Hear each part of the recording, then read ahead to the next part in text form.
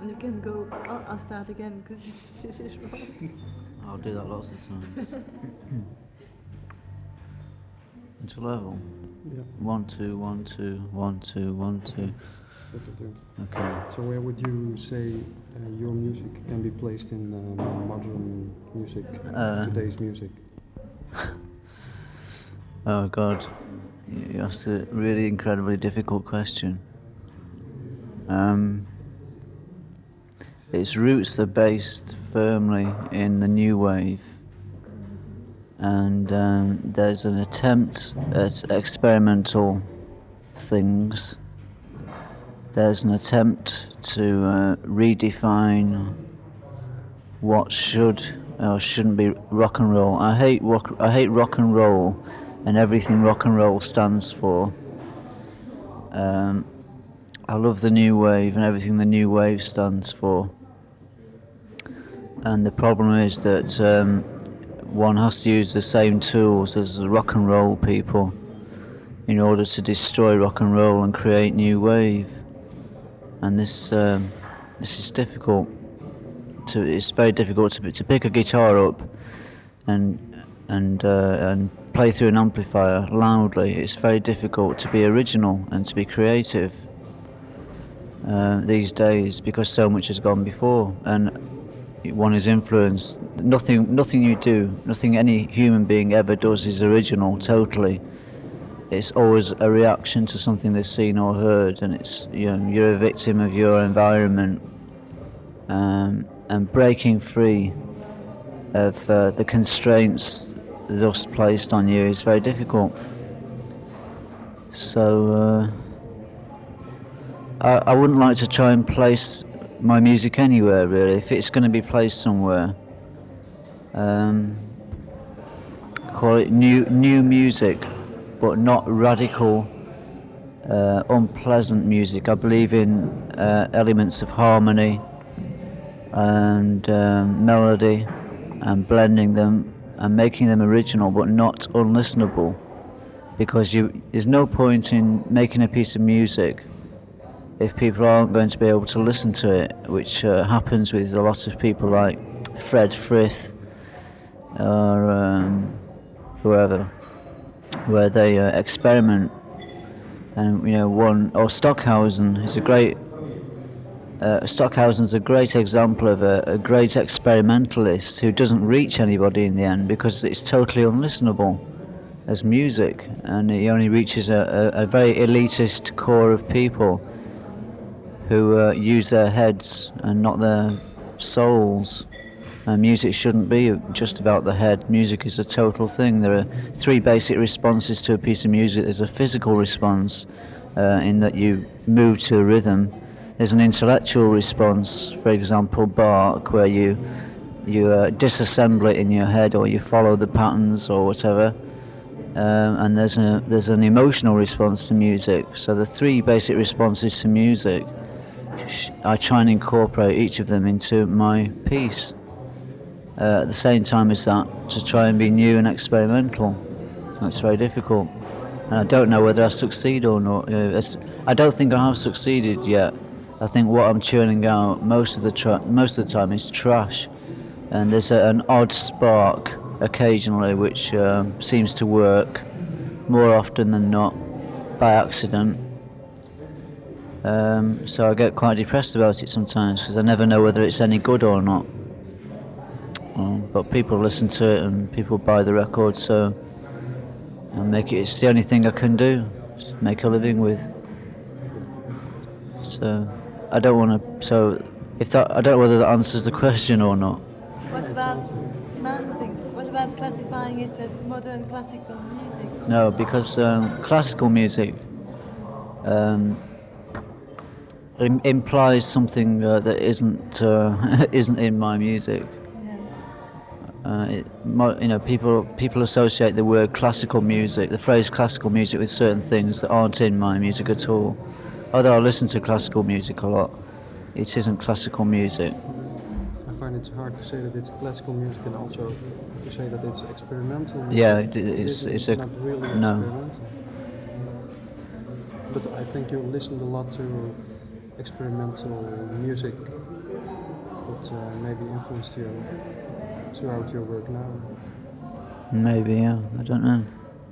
I've not listened to that much experimental music because I can't listen to it because I find it distinctly unpleasant. uh, so I tend to listen to things that are very nice and easy. I tend to listen to uh, good pop music sometimes rather than anything else. There's not very much um, that is that is good in rock and roll in the in the rock field that's being put out. There aren't many things that are any good that are being played anywhere or being done anywhere. Uh, and it depresses me. Everyone's following um, each other, and there's not very much originality anymore for some reason. And uh, it's about you know, punk came along and broke down all the walls that were up and destroyed a lot of things, but it hasn't it hasn't developed very much. It hasn't replaced what it destroyed with anything constructive. Not really, only except for occasional flashes of uh, inspiration like Echo and the Bunnymen or Joy Division or New Order, Certain Ratio, all, fa- all factory bands. Yeah. Factory is uh, wonderful. I love Factory. Is your favorite guitar player? Me.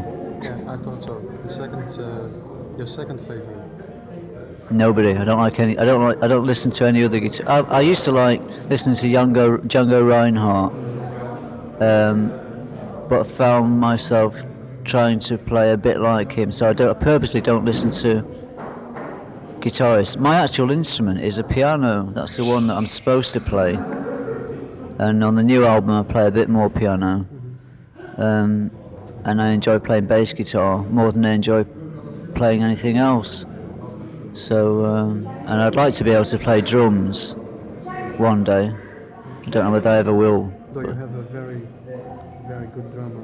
yeah, Bruce, he's very, very good. He's, he's the best in Manchester. I, I never thought he'd uh, drum for me. He's never drummed for anybody except for the Albert, Alberto y Lost Trios Paranoias. For 10 years he's drummed for them and no one else.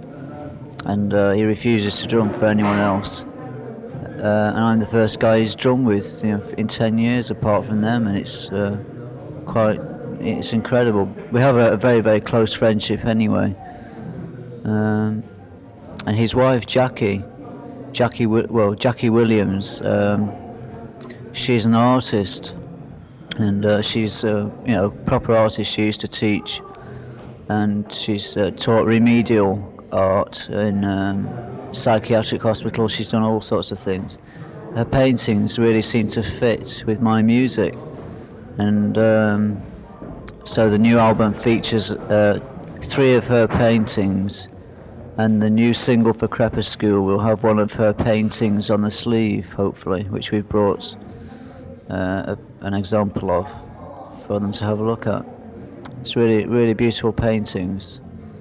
I really like them. What about your friendship with Martin Hannett? Uh, well, um, How, when Uh, did you start to work with him? well, I've known Martin for a while, but um, he didn't really start doing very much or being a being a very positive force until he started.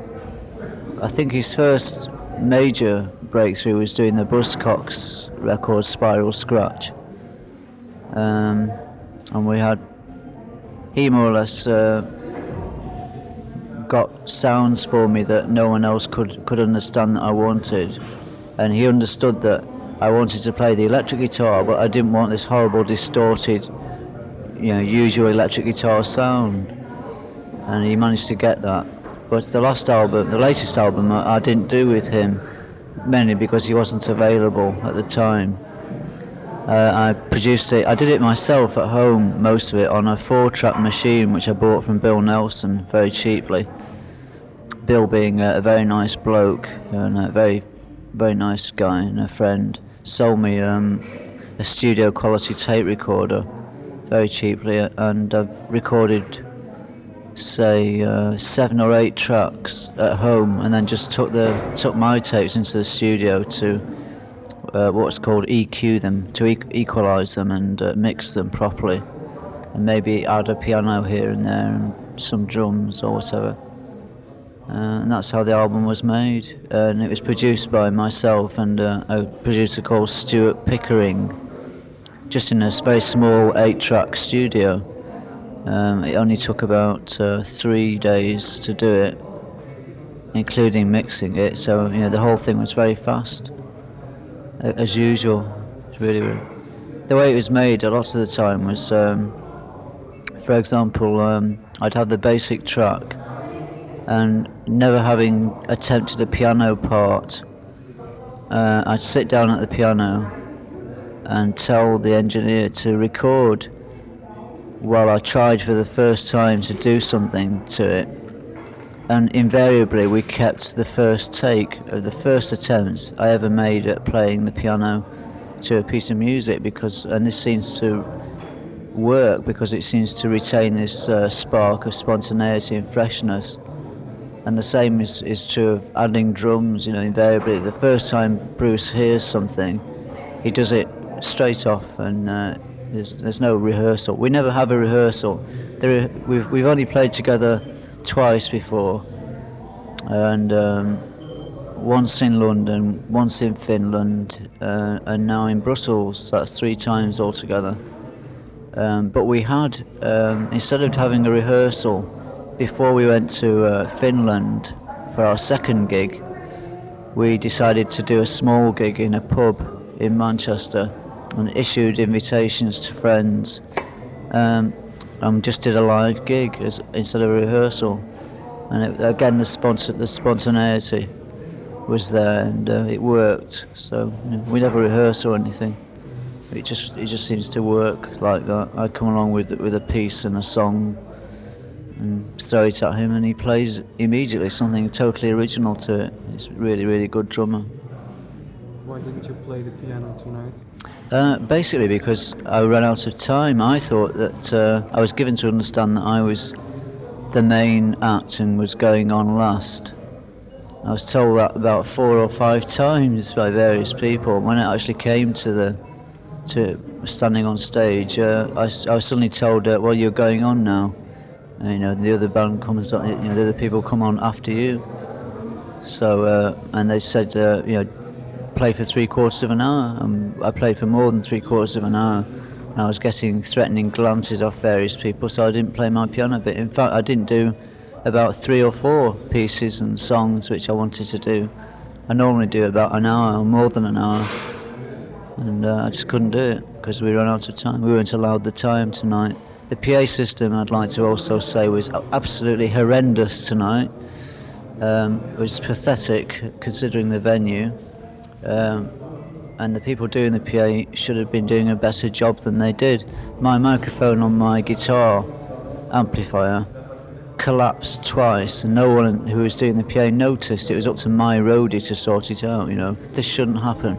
This is ridiculous. And I, you know, I get sick and tired of uh, fighting against uh, duff PA systems and people who don't know what they're doing.